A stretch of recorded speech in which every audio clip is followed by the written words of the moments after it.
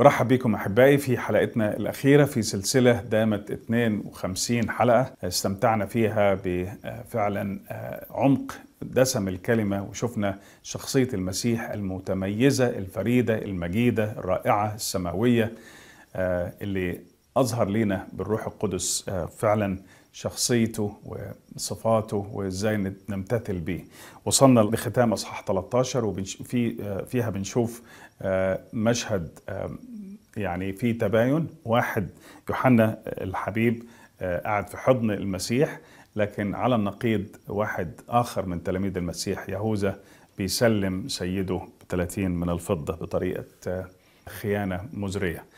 شتان الفرق ما بين الاثنين. لكن بنشوف في الجزئية دي مشهدين مؤلمين وأكيد محزنين للرب يسوع. خيانة يهوذا وتنبؤ المسيح عن إنكار بطرس ليه. وعلى النقيض طبعا يوحنا شفناه في حضن المسيح. بالنسبة ليهوذا كان الأمر واضح إنه لم يعد يؤمن بإرسالية المسيح أو أو انه يسوع ده هو الشخص المختار اللي هيجي يخلص إسرائيل من الاستعمار الروماني وبحسب فهمه الارضي الوقتي كل الأمور دي ما حصلتش يبقى هو مش هو ده اللي إحنا عايزينه يسود علينا. وما قدرش يستوعب إرسالية المسيح خالص الإرسالية الأبدية الأزلية لفداء الإنسان وإعادة الإنسان لعلاقة صحيحة مع الله. وطبعا كون إن الشيطان دخله زي ما بيقول الكتاب في الجزئية دي الشيطان دخله ما بتعفيش ابدا يهوذا من المسؤولية. يعني الشيطان نفسه زي يهوذا فكر إنه يقدر يفسد خطة الله لخلاص البشر بصلب المسيح. والاثنين ما عرفوش إن موت المسيح هو أهم جزء في خطة الله الخلاصية. لا يهوذا فهم ولا الشيطان كمان فهم. وتفاصيل الفقرة دي بنشوف فيها علم الرب وإدراكه المطلق بكل مجريات الأحداث من قبل حتى ما تحصل علمه بالغيب. وهنا بنشوف دليل آخر على لاهوته وعلمه بالغيب والشيء الملفت إنه إنه برغم علمه بموقف يهوذا وبطرس لم يتأثر حبه لهما اطلاقا. وزي ما بنعرف إنه إنه فيما بعد غفر لبطرس وأقامه وأعاده إلى مكانه وخدمته. بعد ما طبعا بطرس تاب وندم وبكى بكاء مرا رب أعاده. وأكيد هو كان مستعد إنه يعمل نفس الشيء مع يهوذا لو كان ندم طبعا وتاب. وده بيدينا أمل ورجاء كبير إنه إنه مهما ارتكبنا من أخطاء فالله جاهز إنه سامحنا لو فعلا ندمنا ندمنا عنها من كل قلبنا وتوبنا ورجعنا إليه. رب جاهز دايما بالغفران بقلب مفتوح. في الكلمات الأخيرة الوداعية شدد الرب هنا على أهمية المحبة العملية المضحية وقال إن إن بهذا يعرف الجميع إنكم تلاميذي إن كان لكم حبا بعضكم لبعض. وكان الحب على طريقة المسيح هي العلامة العلامة الفارقة في الشهادة ليه وعنه.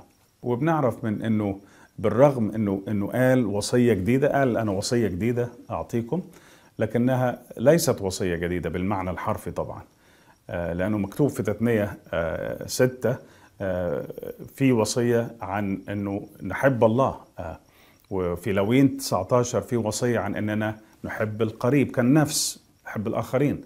لكن المسيح ليه المجد هنا بيقدم لنا مستوى جديد مميز للمحبة. وفي أصحاح 15 الرب كمان في آية 13 قال كما أحببتكم أنا. ودي النقطة اللي فيها المقياس اللي بتاع المحبة الإلهية. محبة مدفوعة بقوة الروح القدس بالولادة من فوق زي ما أنبأ الرب في العهد القديم في إرميا 31 وحزقيال 36 وطبعا في العهد الجديد في غلاطيا 5 بنشوف ملامح المحبة دي. إنه أول واحدة من ثمار الروح القدس هي المحبة. أول ما الإنسان بيتولد من الله على طول بيظهر على حياته أول حاجة بتبان هي المحبة لأن الله محبة. فكرة أنه نحب كما أحب المسيح دي ثورة فكرية. إحنا الآن علينا أن نحب مثل ما أحب المسيح. المحبة المضحية. ونوع المحبة دي مش بس يجذب الآخرين للمسيح وبس لكن لكن يقوي المؤمنين مع بعض في وحدتهم في علاقتهم بعضهم مع بعض عشان يسندوا بعض في وسط العالم العالم المعادي ليهم والعالم المعادي لله. ربنا يساعدنا بقوة روحه إننا نظهر مشاعر المحبة بطريقة ملموسة وبطريقة محسوسة بسلوك عملي آه، بالمعاونة وقت الشدة نمد إيدينا لبعض في وقت الاحتياج بالعطاء وقت الحاجة بتكريس الطاقة لخير الآخرين بعضنا لبعض في جسد المسيح. آه، طبعا نوع المحبة ده آه، صعب أكيد مش سهل لكنه أكيد هيلفت نظر الناس إن المحبة دي آه، مصدرها سماوي. إحنا مزودين بقوة من مصدر إلهي. مش معقول المحبة دي تكون محبة طبيعية بشرية. ده شيء إلهي دي طبعة إلهية دي سكيب الروح القدس جوانا. آه، مكتوب كده أنه الله سكب محبته في قلوبنا بالروح القدس المعطى لنا.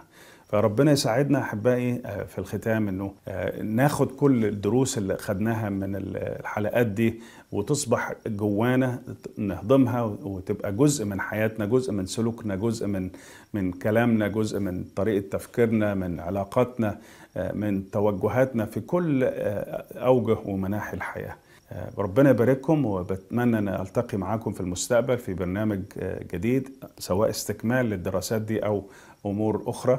آه، رب يحفظكم بخير وبسلام ونكون على اتصال. وأحب أسمع منكم يا ريت آه، تتواصلوا معنا على آه، صفحة ال- القناة والبريد الإلكتروني وما إلى ذلك. نحب نسمع منكم ونتواصل معاكم ونشوف عمل الله في حياتكم وفعالية وتأثير الكلمة في حياتكم ونسمع اختبارات لمجد المسيح في حياتكم. لإلهنا كل المجد الدائم إلى الأبد. ربنا يبارككم ويحفظكم ويكون معاكم. آمين.